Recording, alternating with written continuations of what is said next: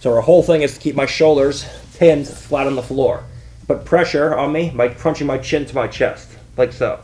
So from here, yes, I'm more pinned than I was before, but I also have a greater ability to start off balancing my partner straight back. By angling out, using a pendulum method to either take her over, or as she goes to square, I insert a side guard and we go in for the win.